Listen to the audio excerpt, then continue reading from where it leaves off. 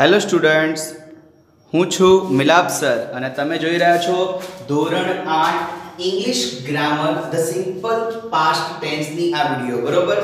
આપણે ગઈ વિડીયોમાં પ્રશ્ન નંબર એક અને બે એક્સરસાઇઝમાં પૂરું કર્યું હતું.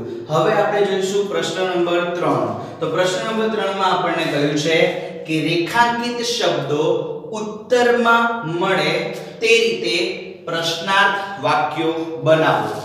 આ રેખા દ્વારા જે અંકિત કરેલા શબ્દો છે, એ ઉત્તરમાં મળે એ રીતે પ્રશ્નાર્થ વાક્યો બનાવવા હવે આપણને ઉદાહરણ આપેલું છે. આમ તો જો કે તમે 8મા ધોરણમાં છો, એટલે પહેલા ધોરણ 6 અને 7માં બંનેમાં ભણી ગયા છો, બરોબર?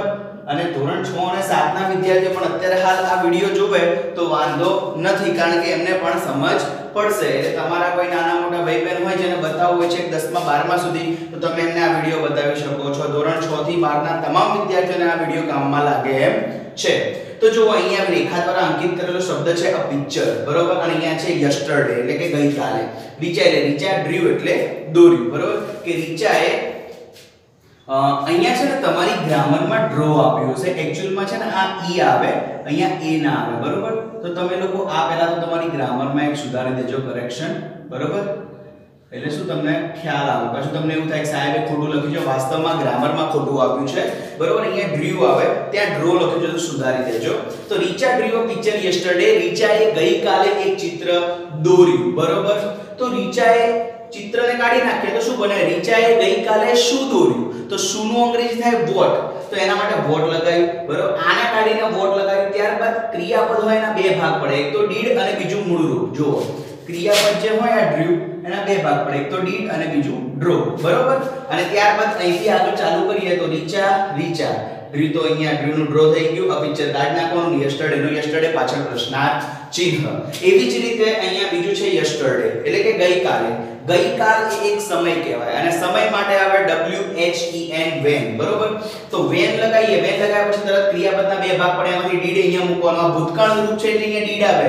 માની લો વર્તમાન કાળનું રૂપ હોત અને જો પાછળ મૂળ રૂપ હોત, પાછળ એસ કે એસ ના હોત તો ડુ આવત, પાછળ એસકેએસ હોત તો ડઝ આવત. બરોબર? આ બધું ધ્યાન રાખવાનું. જો ભવિષ્ય કાળ હોય તો અહીંયા વિલ આવે, બરોબર?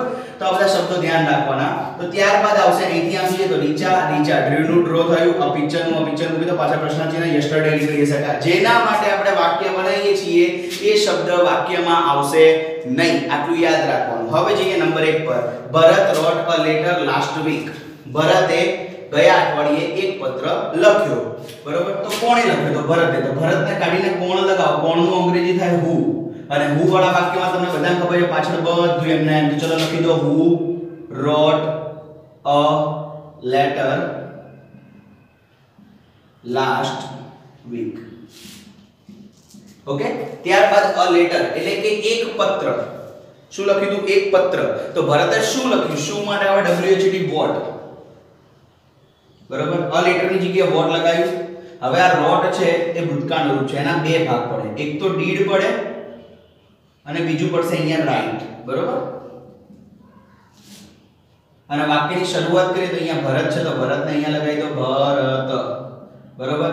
રોટનું રાઈટ આવી ગયું. અ લેટર તો કાઢ નાખેલી જગ્યાએ વોટ લાગ્યું. છેલ્લે વધ્યું લાસ્ટ વીક સમજણ પડી? હા, સરસ. હવે લાસ્ટ વીક છે. તો લાસ્ટ વીક માટે શું વાપરીશું આપણે? સમય છે, તો એના માટે WHEN એચ એન વેન લગાવીશું. વેન ઉપરની જેમ ડીડ ભરત રાઈટ અહીંયા સુધી બધામાં સરખું આવે. ચાહે વોટ વાળું વાક્ય હોય વેર વાળું હોય વેન વાળું હોય, બરોબર? ત્યારબાદ લાસ્ટ વીક જે ઉપર લગાવ્યું, હવે લાસ્ટ વીક તો અત્યારે કાઢ નાખવું છે. અત્યારે શું એડ કરવાનું છે? અ લેટર સિમ્પલ પતી સમજણ પડી? હા, સરસ. તો હવે જઈએ આગળ. ગ્રેન્ડમધર સેંગ અ ભજન. દાદીએ એક ભજન ગાયું. કોણે ગાયું? દાદીએ. દાદીને કાઢી નાખો, લગાવો કોણને. કોણ એટલે હુ સેંગ અ ભજન. બરોબર? ક્વેશ્ચન માર્ક હવે અભજન છે. તો અભજન માટે આપણે D વોટ તો વોટ સેંગના બે ભાગ પાડીશું. એક તો દીડ પડે અને બીજું સિંગ પડે બરોબર વચ્ચે શું વધ્યું? ગ્રેન્ડ મધર લગાવી દો ગ્રેન્ડ મધર ઓકે ખ્યાલ આવી ગયો? What did grandmother sing આવી ગયું. હવે જઈએ આગળ. Darshan gave a speech in the morning દર્શને સવારમાં એક સ્પીચ આપી. બરોબર? તો દર્શન. કોણે આપી? દર્શને આપી. દર્શનને કાઢીને હુ લગાવો? Who gave a speech in the morning. અને ઇન ધ મોર્નિંગ એક સમય છે, સમય માટે આવશે w h N when when give ના બે ભાગ પડશે. એક તો did અને બીજું પડશે give. બરોબર? તો વધીશું વચ્ચે દર્શન, નામ વધ્યું નામના વચ્ચે લગાવો. બરોબર? છેલ્લે શું મૂકી દઈશું? અ સ્પીચ સમજણ પડી તમને? હા. તો હવે જઈએ નંબર 4 પર. 4 નંબરમાં કીધું છે mother went to the market yesterday mother એટલે માતા વેન્ટ એટલે ગઈ ટુ ધ માર્કેટ એટલે બજારમાં યસ્ટરડે એટલે ગઈકાલે. માતા ગઈકાલે બજારમાં ગઈ. કોણ ગયું? માતા.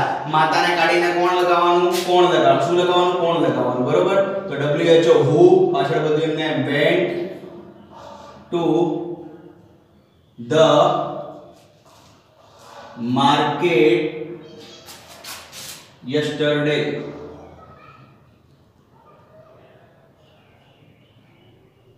question mark ત્યારબાદ to the market માટે આવશે w h e r e where did mother go yesterday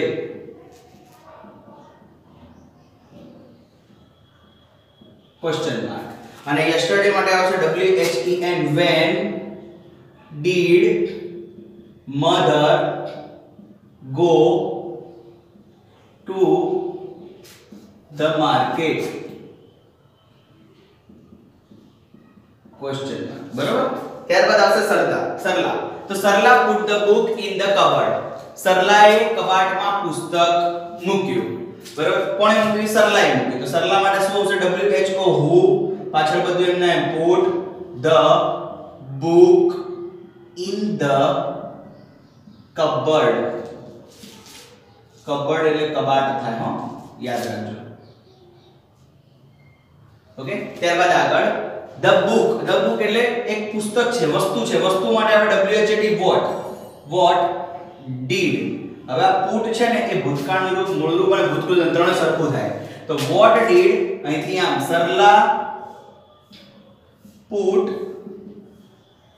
આ ડીડ અને પુટ બન્યા. આમાં ઉપરમાં બી ડીડ અને ગો હતા. આ જે વેન્ટ ના કહેવાય ને, ડીડ અને ગો હતા. યાદ રાખવાનું દરેકમાં. હું રાઉન્ડ કરું છું તમારે કરવાની જરૂર નથી. હું તમને સમજાવવા માટે કરું છું. What did Sarla put in the cupboard જો બુક કાઢી નાખી, કારણ કે બુક માટે તો આપણે આ વાક્ય બનાવીએ છીએ, બરોબર? ત્યારબાદ ઇન ધ કબર્ડ માટે આવશે W H E R E where? Where did Sarla put the book, question mark. Okay તો જો રીડ અને put આવી ગયું. તમને પડી ગઈ. ત્યારબાદ આવશે 6 number the children sat in the hall in the morning children એટલે બાળકો સેટ એટલે બેઠા ઇન ધ હોલ એટલે હોલમાં ઇન ધ મોર્નિંગ એટલે સવારમાં. સવારમાં બાળકો હોલમાં બેઠા. કોણ બેઠું? બાળકો. બાળકોને કાઢીને શું લગાવવાનું? કોણ? W H O, who?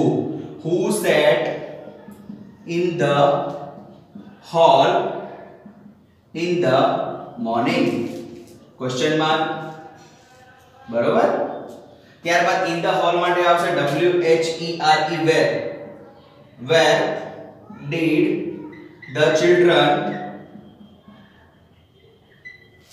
sit did અને sit સેટનું મૂળ રૂપ બરોબર sit થાય અને sit નું ભૂતકાળનું રૂપ સેટ થાય in the morning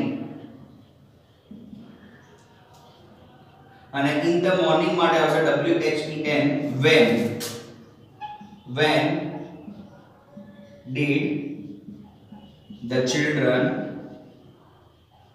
sit in the hall question mark okay તો જો did અને sit થઈ ત્યારબાદ આવશે સાત number.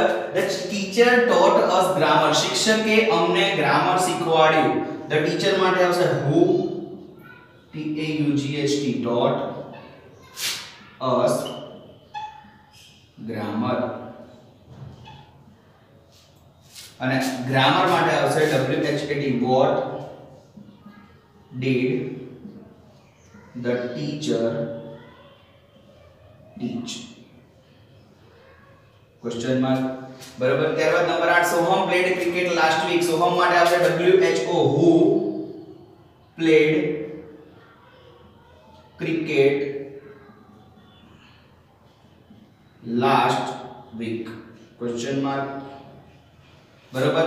ક્રિકેટ માટે આવશે W H what what what did played નું એક ડીડ થાય અને બીજું પ્લે થશે. સોહમ પ્લે લાસ્ટ વીક અને છેલ્લે આવ્યું લાસ્ટ વીક માટે W H E N when did Soham play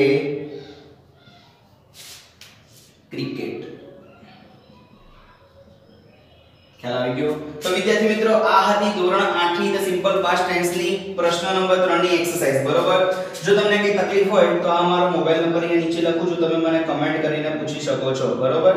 WhatsApp પર મેસેજ કરશો તો બી હું જવાબ આપીશ. બરોબર?